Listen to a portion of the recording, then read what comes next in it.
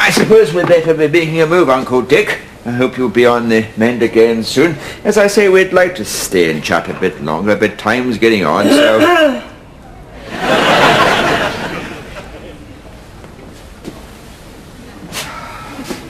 but how much longer have we got to sit in this ruddy place? Like Lenin's tomb with Dettol. You say you can hear every word, but how do we know that? Might be stone dead for all we know. Hello? Uncle Dick? Hello? Oh, five to five. We'll be bringing in your afternoon cup of tea soon. I expect you're ready for that, aren't you? How will he be ready for it? He's not exactly working up a thirst there, is he? Lying there flaked out with tubes coming out of every orifice. I mean, they bring him a cup of tea, they might as well pour it straight into the bag so as not to disturb it. And whose fault was it he ended up here in the first place? I mean, trying to dislodge a kidney stone with the end of a wire coat hanger. Coal burn all the way up just the very concept of it. Should have seen about a problem like that months ago. What was it he said in his last Christmas card? Can only pass water now with the aid of a stirrup pump. Let these things at your peril. So anyway, Uncle Dick, the doctors seem very pleased with your progress, which is good, isn't it? As I say, Aunt Joyce would have come along today, but she's not had a very good week herself, what with everything. Tuesday morning, I'm afraid, she went into another narcoleptic trance in the lavatory. Just keeled over forwards onto the floor, with her nose in the shape of a jumping cracker. and of course, with her dodgy hip, she couldn't get up to phone for help or anything. So the first anyone knew of it was when a man down the sewage plant found an aspirin bottle with an SOS inside. the letters torn from the words Andrex Super Soft. Anyway, she sends you lots of love and, oh, a new video for you to watch on your little combi. Now, where did I put that? Don't say I left it behind. Yes, I like the fact that we're the ones that have to sit here all afternoon and not her. Don't worry if he doesn't say very much. He's a very good listener.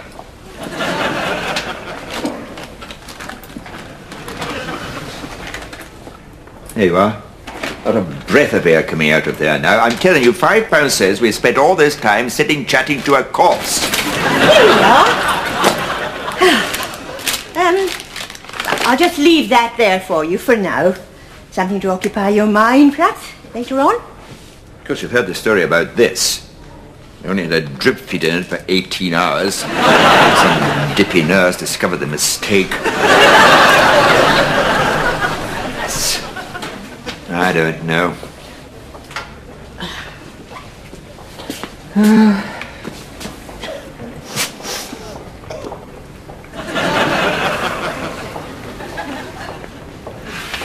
well, I suppose we'd better be making a move. Time's getting on, so... Oh, and did I tell you? Mrs. Prout's adopted another rhinoceros. Mrs. Prout has? That's 11 she's got now. And thinking about a 12th. Should you say what colour? Black, I think she said. They're one of the most endangered. wonder where she puts a litter tray. They send you a little photograph of it and everything. Just so you have a record. Well, I suppose it takes all sorts.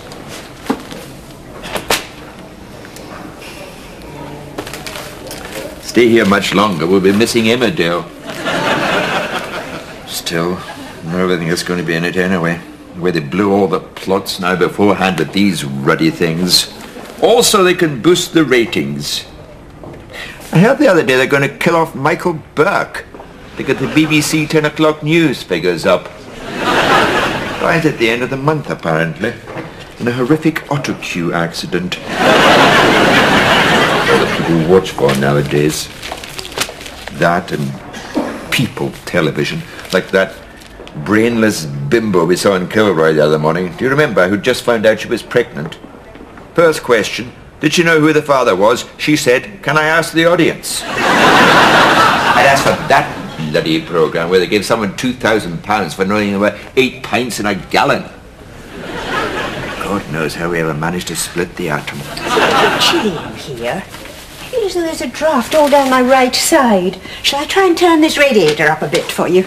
Ah, ah. Talking of drivel, what have we got here today?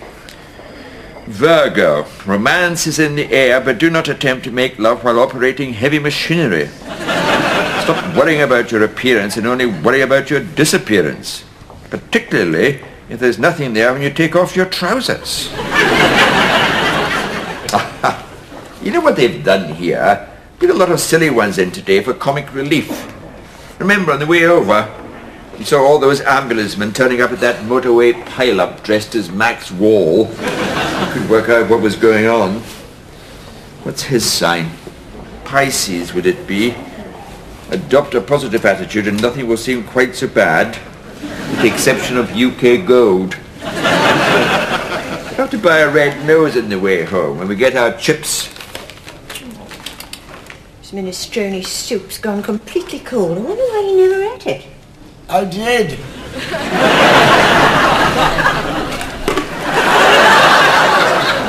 Really? Oh, we're going to do something about this for you. Um, where can I put this? Hang on. So, how are you feeling now, Uncle Dick? A bit better after your nap? Oh, for goodness that it then? An hour and a half we've been sitting here and he said two words. Why don't you go and cheer him up? What a joke. It was a waste of time coming here in the first place. What's this video then she's left him? The Sixth Sense. Saw the end of that coming a mile away as I remember. You remember we were watching this and I said to you... Okay, I- Uncle Dick. I'd better be making a move because time's getting on. I'll let Aunt Joyce know you're picking up nicely and I hope to see you again soon. Bye-bye. Margaret, did you hear what I just said? That I... Margaret?